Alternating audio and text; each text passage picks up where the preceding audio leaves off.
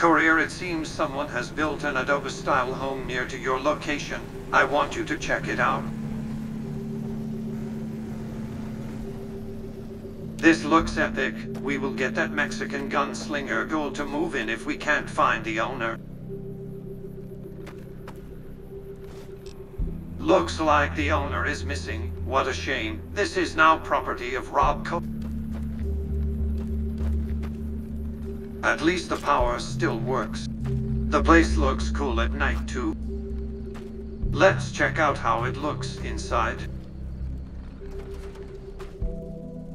A beautiful kitchen with all the necessary amenities. A quaint dining area to eat at. This table has an urn and a radio for listening to music. A gorgeous fireplace made out of what looks like an old safe. This area is an armory connected to a bathroom with a shower. It seems very odd combination, but it seems to work.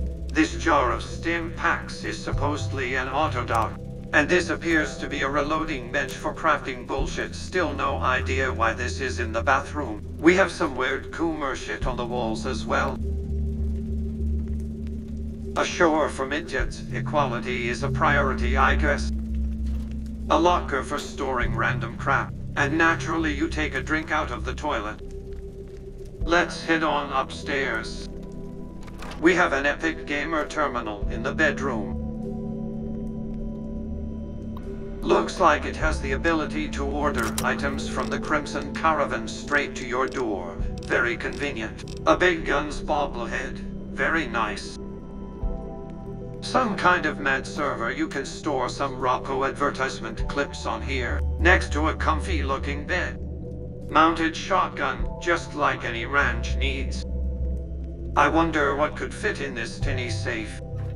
Ah yes, naturally a mini nuke which is larger than the safe itself and many other random things.